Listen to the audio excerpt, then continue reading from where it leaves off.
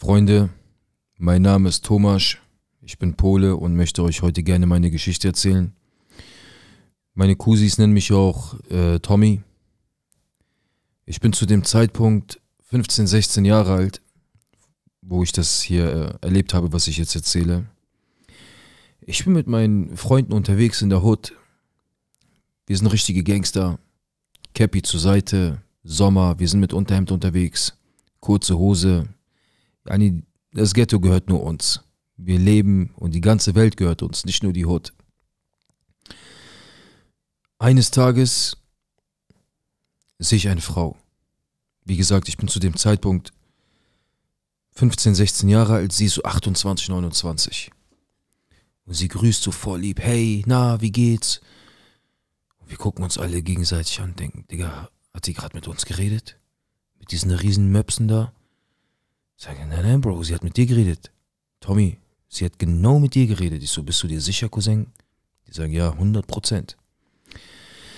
Auf jeden Fall, ein paar Tage vergehen, ich sehe sie wieder, sie grüßt wieder, sie macht so. Und ich kann mit der Situation gerade gar nicht umgehen. Ich bin eigentlich voll der Gangster und so, ich bin voll der Harte von uns. Und sie macht mich so übertrieben schwach. Ich weiß nicht, wie ich damit umgehen soll. Und ich dachte, sie ist einfach nur freundlich. Bin ich ehrlich, weil sie hat immer nur gesagt, hey, na, wie geht's? Alles gut bei euch? Wir haben gesagt, ja, bei uns ist alles gut. Wie geht's dir? Und dann hat sie gesagt, ja, bei mir ist auch alles super, alles klar, bis dann. Tschüss. Und dann saß sie einmal auf dem Spielplatz mit ihren zwei Kindern. Ihre zwei Kinder waren am Spielen. Ich kenne auch, äh, also wir kennen auch ihren Mann, ein Südländer. Auf jeden Fall, äh, Sie guckt wieder so, sie lächelt mich total an. Sie sagt, hey, wie geht's dir? Was machst du? Wie ist dein Tag? Ich rede mit ihr und denk so, Digga, Freundlichkeit bis zu einem gewissen Grad. Aber irgendwann hört diese Freundlichkeit auf. Das hat hier nichts mehr mit Freundlichkeit zu tun. Ich gehe zu ihr hin, ich setze mich genau neben sie und sage zu ihr, wir müssen doch nicht so schreien, oder? Dann guckt sie mich an, sagt sie, nee, müssen wir auch nicht. So, wie geht's dir? Was machst du? Wie läuft dein Tag? Sie sagt, ja, ich bin hier mit den Kindern. Mein Mann geht immer morgens äh, zur Arbeit um 7 Uhr. Die Kinder bringe ich um halb acht zur Kita. Um halb eins hole ich die Kinder von der Kita wieder ab. Dann komme ich nochmal ganz kurz mit denen hier auf den Spielplatz. Und um 13.30 Uhr ist mein Mann zu Hause. Und dann fässt sie einfach mit ihrer Hand so über meinen Oberschenkel. Cousins, die Hose wurde enger in dem Moment. Ich konnte damit nicht umgehen. Ich dachte, was geht hier ab, verdammte Scheiße? Diese heftige, geile Milf steht auf mich. Für mich war sie ja schon eine Milf. Ich bin 16, sie ist 29. Ich sag zu ihr, also bist du morgen um halb acht unterwegs, bringst die Kinder weg. Oder wie habe ich das jetzt verstanden? Er sagt sie, ja, genau. Ich so, und um 8 Uhr ungefähr bist du wieder da und hast bis 12 Uhr Zeit. Sagt sie, ganz genau richtig. Ich so, und du wohnst in diesem Block, in welchem Stock wohnst du denn? Sie sagt, im fünften, links, letzte Tür. Ich so, okay. Vielleicht sieht man sich ja mal. Ich sagte, ich hoffe, dass wir uns mal sehen. Auf jeden Fall, ich komme auf mein Leben nicht mehr klar. Ich darf das den Jungs auf gar keinen Fall erzählen. Weil ich weiß, wie meine Jungs sind. Wenn ich sage, Jungs, so und so ist passiert, die sagen, glaubt mir, wisst ihr, was die zu mir sagen? Wir wollen mit. Die werden eiskalt einfach sagen, Bruder, wir wollen mit. Ja, aber Bruder, das geht nicht. Ich kann doch nicht mit drei, vier Jungs bei ihr auftauchen, Bruder. Das ist ja nie. Versteht ihr das? Das kann man doch nicht machen. Lass mich erstmal hin und lass mich erstmal die Lage abchecken, denke ich mir so selber. Und dann gucken wir. Nächsten Tag, ich bin, ich weiß ganz genau, sie ist um halb acht, geht sie raus, bringt die Kinder weg. Sie kommt irgendwann kurz vor acht wieder zurück. Aber die Nacht, bis es halb acht wurde, das war, glaube ich, die längste Nacht in meinem Leben, weil ich weiß nicht, was mich erwartet. Trinke ich mit ihr einen Kaffee? Rauche ich vielleicht einfach nur eine Kippe mit ihr? Sitze ich da einfach nur mit ihr und unterhalte mich mit ihr? Was wird da laufen? Stell ich ich stelle mir alles vor. Alles, wirklich. Ich stelle mir wirklich alles vor. Auf jeden Fall, äh,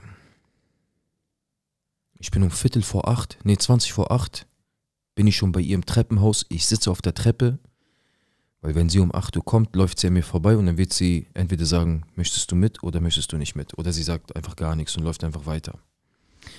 Auf jeden Fall, ich sitze da, es ist richtig kalt, Cousins, es ist Winter. Winter, Winter, es ist Dezember, es ist noch dunkel. Ich sitze da wie so ein Dulli auf der Treppe, bin voll am Zittern. Und als 16-Jähriger tut man ja alles einmal. Man, man tut ja wirklich alles dafür, um. Ihr wisst schon. Auf jeden Fall, ich sitze da auf der Treppe, ich bin voll am Zittern und weiß nicht mehr, wohin mit mir. Auf einmal höre ich nur so klack, klack, klack, klack. Ich höre Stiefel. Pff. Cousins, Jeanshose, Stiefel bis zu den Knien. Auf jeden Fall, sie kommt hoch. Sie sieht mich. Sie sagt, oh, da ist ja jemand überpünktlich. Hast du es eilig? Ich habe gesagt, nein, ich habe es nicht eilig, aber ich wollte auch keine Zeit verlieren. Ich möchte jede Minute nutzen, bis 12 Uhr. Dann sagt sie, ja, dann komm mal mit. Und nimmt meine Hand und zieht mich so hinter sich her. Sie macht Schlüssel rein, falscher Schlüssel. Und ich werde immer nervöser. Ja, die macht doch endlich den scheiß Schlüssel rein. Warum, wie lange dauert das? Sie versucht den Schlüssel, der geht auch nicht. Sie sagt, oh, Moment, die sehen alle gleich aus. Macht Schlüssel rein, dreht. Das, schon allein das Drehen hat sich angefühlt, als würde das fünf Minuten dauern. Wir gehen auf jeden Fall rein. Sie sagt, möchtest du was trinken? Ich habe gesagt, nein. Mir ist kalt. Ich möchte nichts trinken. Sie sagt, ach so, die ist kalt, soll ich die Heizung anmachen? Ich habe gesagt, nein, hast du vielleicht irgendwo eine Decke? Sie sagt, ja. Ich so, wo denn? Sie sagt, in meinem Schlafzimmer. Ich so, in deinem Schlafzimmer? Sie sagt, ja, in meinem Schlafzimmer. Ich so, möchtest du mir zeigen, wo dein Schlafzimmer ist? Sie sagt, ja, komm mal mit. Auf jeden Fall, es kam gar nicht zum Schlafzimmer. Wir stehen im Flur, auf einmal fällt sie über mich her. Cousins. Sie küsst meinen Hals, sie küsst mich hinterm Ohr. Auf jeden Fall, sie zieht dann, sie macht einfach so meinen Gürtel auf. Und dann hat sie mich gefragt, soll ich deine Schrotflinte polieren? Ich habe gesagt, was hast du gerade gesagt? Sie sagt, Shh. mach einfach deine Augen zu. Cousins, es war unvergesslich. Auf jeden Fall, ich habe bis 12 Uhr war ich mit ihr. Ich bin mit einem Lächeln aus, diesem, aus, aus dieser Wohnung gegangen. Und das Ganze ging dann über Wochen. Über Wochen. Wirklich Wochen. Irgendwann habe ich es nicht mehr ausgehalten. Ich habe es irgendwann nicht mehr ausgehalten. Ich musste es jemandem erzählen. Es war, es war einfach ein Traum. Ich hatte jeden Morgen um halb acht ein Date. Halb acht, acht hatte ich ungefähr ein Date. Und ich denke mir so, ich muss das meinen Cousins erzählen. Das geht so nicht mehr. Ich, wenn die wissen, ich knall die, die kommen auf ihr Leben nicht mehr klar. Weil jeder von uns stand auf sie. Wirklich jeder, jeder stand auf sie. Ich würde sie euch gerne beschreiben, Cousins, aber das mache ich jetzt lieber nicht. Auf jeden Fall, ich sag zu meinem Kollegen, ich so, ich sag zu ihm, Bruderherz, du glaubst nicht, mit wem ich was seit zwei Monaten habe. Er sagt, mit wem? Ich sag, Bruder, das darfst du niemandem erzählen. Das ist ein bisschen gefährlich, sie ist verheiratet. Er sagt, wer? Ich sag, Bruder, Jacqueline. Er sagt, was? Du knallst Jacqueline? Ich sag zu ihm, sag, Bruder, seit zwei Monaten. Er sagt, Digga, mein, mein Cousin knallt sie auch. Ich so, Digga, wie, dein Cousin knallt sie auch? Er sagt, doch. Ich so, wann denn? Bruder, ich bin jeden Morgen da. Ja, Bruder, keine Ahnung, ich weiß nicht wann, aber er auch. Ich so, Digga, du hast gerade richtig meinen Kopf geballert. Was soll das denn, Mann? Ich dachte, ich wäre was Besonderes und sie macht das nur mit mir, weil sie auf mich steht. Sie sagt, Bruder, sie ist eine kleine Snitch. Viele haben sie schon geknallt, glaub mir. Ich so, ja, Bruder, okay. Ich bin ehrlich, Cousins, das hat mich echt übertrieben getroffen. Ich war echt äh, traurig. Der nächsten Tag, ich war da, ich sag zu, hey Jacqueline, hast du vielleicht so eine Affäre noch mit jemand anderem? Sie sagt, was interessiert dich das denn, du Pisser? Hast du deinen Spaß oder nicht? Ich sag zu ihr, Digga, wie redest du? Wie Pisser? Sie sagt, ja, hast du deinen Spaß, ja oder nein? Ich sag zu ihr, ja, hab ich. Ja, also dann halt doch einfach deine Fresse. Ich gucke sie so an, ich so, wie redest du eigentlich mit mir? Sie sagt, halt doch einfach deine Fresse und genieß es doch einfach. Ich so, ich kann es nicht genießen, wenn du so dreckig mit mir redest. Sie sagt, Junge, komm, verpiss dich, geh, kleines Kind. Ich so, was denkst du eigentlich, wer du bist, Mädchen? Was ist los mit dir? Und dann war ich kurz davor, aus der Tür rauszugehen und dachte mir, Digga, das wird mir jetzt jeden Tag fehlen. Ich muss das irgendwie jetzt wieder retten. Ich drehe mich um. Sie sagt, was ist denn noch? Ich habe zu ihr gesagt, Baby, entspann dich mal ganz kurz. Hast du auch deinen Spaß, ja oder nein? Sie sagt, ja. Ich so, ja, Tamam, das ist doch alles gut. Wenn du deinen Spaß hast, ich meinen Spaß hab. Ich sag zu ihr, fick mit wem du willst, was juckt mich das, Mann? halt mich einfach aus allem raus und gut ist. Auf jeden Fall ein paar Wochen vergehen. Wir chillen in der Hut. Auf einmal hören wir Schreie aus ihrem Balkon. Sie wohnt im fünften Stock. Hör auf damit, tu das nicht, mach das nicht, was weiß ich. Und ich höre nur noch einen anderen Mann auch schreien. Und denk so, shit, Alter. Sie streitet sich gerade übertrieben mit ihrem Mann, was ist da los? Auf einmal, ich schwöre es euch wie in einem Film. Wir, ihr müsst euch vorstellen, wir sind acht, neun, acht, neun Jungs, alle hungrig unterwegs. Wir alle gucken nur noch auf diesen Balkon und denken, was ist da los, Alter? Warum schreit die so? Und wie in einem Film, auf einmal fliegt da ein Mann aus dem Balkon und bam auf den Boden. Wir rennen da alle hin. Wir gucken, er hat Blut am Körper, Stichwunden und wurde aus dem fünften Stock geschmissen. Wir rufen sofort Krankenwagen, Polizei. Wir sagen, hey, hier ist dies und das passiert. Ein paar Freunde machen Fotos von ihm. Was ist, hey, steh auf. Schau, Lustige, komm. Auf einmal, wir sehen, ihr Mann rennt aus der Wohnung raus. Ihr Mann rennt aus der Wohnung raus, rennt weg. Aus dem Block und rennt weg Richtung sein Auto, steigt ein. Ich höre nur noch Reifen quietschen er ist weg. Ich denke so, scheiße, Alter, nicht das, was mit Jacqueline passiert ist. Ich gehe nach oben. Ich renne die Treppen hoch. Fahrstuhl kam einfach nicht. Ich renne in den fünften Stock. Ich kriege gar keine Luft mehr. Ich gehe rein. Jacqueline liegt da auch. Jacqueline, Jacqueline, steh auf. Was ist passiert? Sie sagt, bitte ruf einen Krankenwagen. Ich gucke, ob irgendwo bei ihr auch Blut dran ist. Ist nicht. Er hat sie nicht mit dem Messer angegriffen, aber er hat ihr wahrscheinlich irgendein Ding verpasst. Die Arme hat Sterne gesehen. Auf jeden Fall, sie liegt da. Ich sage zu ihr, Jacqueline, was ist passiert? Sie sagt, ja. Was soll passiert sein? Ich habe gesagt, was ist passiert? Rede mit mir. Sie sagt zu mir, Dennis war hier und ich dachte, er ist noch auf der Arbeit. Und er hat uns einfach erwischt, wie wir miteinander schlafen. Und er ist durchgedreht. Und er kennt Dennis. Ich so, Dennis, sein Kollege Dennis? Sie sagt, äh, ja, ja, genau dieser Dennis. Ich so, boah, und dann, was ist dann passiert? Sie sagt, bitte, ich kann nicht und so, bitte ruf endlich einen Krankenwagen. Ich ruf, ich habe Krankenwagen schon gerufen, sie hat es gar nicht mitbekommen. Sie ist so durcheinander. Bei ihr gehen ja wirklich alle Gedanken gerade durch den Kopf, ne? Alle, komplett alle Gedanken. Krankenwagen ist auf jeden Fall erstmal bei den Kusi unten, der vom Balkon geschmissen wurde. Der wurde direkt mitgenommen. Der Arme hatte Prellungen, Brüche, Messerstiche, wir haben irgendwann gehört, der ist in Lebensgefahr und ist, in, äh, ist im Koma. Äh, ihr Mann wurde verhaftet. Wegen schwerer Körperverletzung, bla bla bla, wurde er äh, verurteilt. Er kam in den Knast. Ja, und Jacqueline gehörte von nun an nur noch uns.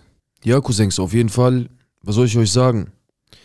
Jacqueline hat echt, also ihr war das echt egal, ne, dass, dass ihr Freund und der Vater von den Kindern auf einmal im Knast war.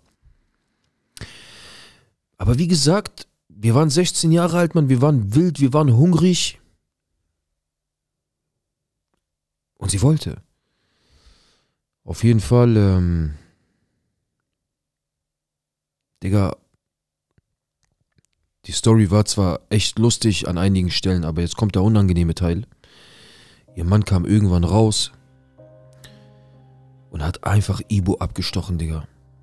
Ibo hatte auch was mit ihr gehabt. Er ist aus dem Knast kommt. Das allererste, was er getan hat, er hat einfach Ibo abgestochen. Ibo ist gestorben. Direkt. Direkt, Digga. Der kam. Er hat diese Frau über alles geliebt wahrscheinlich. Aber irgendwas lief da schief und sie musste sich das einfach von woanders holen. Und sie hat, glaube ich, einfach jeden aus dem Block mal rangelassen, um, um, um zu gucken, was, was so abgeht. Aber es hätte jeden von uns treffen können. Das war echt. Danach habe ich mir gedacht, Digga, stell dir mal vor, ich wäre an dem Tag da gewesen. Ich würde an dem Tag neben ihr stehen. Ich wäre vielleicht heute tot. Vielleicht wäre der tot, er tot oder der tot. Aber einfach Ibo, Digga. Schock, Schock, wirklich Schock. Ich möchte euch mit dieser Story einfach sagen,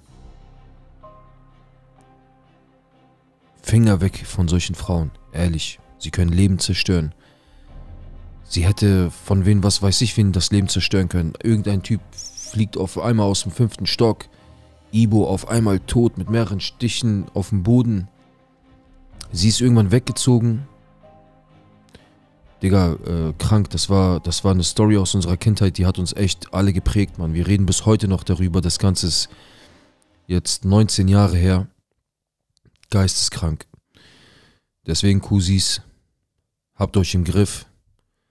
Und auch Mädels, habt ihr euch auch im Griff. Soll ich euch sagen, Alter? Das, so eine Story habe ich ja noch nie erzählt hier auf diesem Kanal.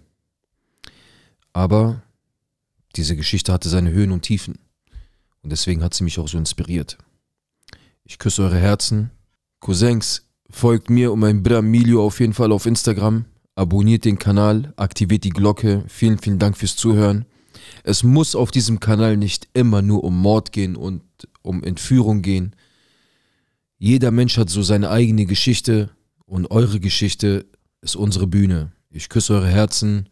Es werden noch ein paar Ehrenleute gegrüßt. Bleib dran, vielleicht bist du heute dran, Cousin, Cousine. Ganz liebe Grüße an Asam. Ich küsse dein Herz. Vielen, vielen Dank für deinen Support. Erfan und Ardan aus Tirol, meine Cousis. Ich küsse eure Herzen. Ganz, ganz liebe Grüße an euch. Nico und die Red Light Crew, FFM. Ich küsse eure Herzen. Ganz liebe Grüße an euch. Sergio und Max, ganz liebe Grüße an euch, Cousins. Gian und Levent, meine Cousis, ganz liebe Grüße an euch. Kerim Bra, ganz, ganz liebe Grüße auch an dich. Marlon Kandemir, ganz, ganz liebe Grüße an dich, Kusi. Und auch ganz, ganz liebe Grüße an den Bre Derbas. Derbas, ganz liebe Grüße an dich. Dominik und Hani, ich küsse eure Herzen, ganz liebe Grüße auch an euch. Sipan Isa, ganz, ganz liebe Grüße. Mirano, auch an dich, Cousin, ganz liebe Grüße. Lauren aus Nordenham, ganz liebe Grüße auch an dich, Lauren. Ganz liebe Grüße noch an mein Cousin Ferit und Ali aus Wuppertal, mein Cousin. Ganz, ganz liebe Grüße auch an dich. Und zu guter Letzt Abdul Sattar und Mohammed, meine Cousins. Ich küsse eure Herzen. Ganz, ganz lieben Gruß auch an euch. Und das war's eigentlich heute. Ich küsse eure Herzen. Vielen, vielen Dank für euren Support. Und Vergiss nicht, den Kanal zu abonnieren und die Glocke zu aktivieren und folgt mir und meinem Bruder Emilio auf Instagram. Euch allen noch einen wunderschönen Abend. Euer Said Ibrahim.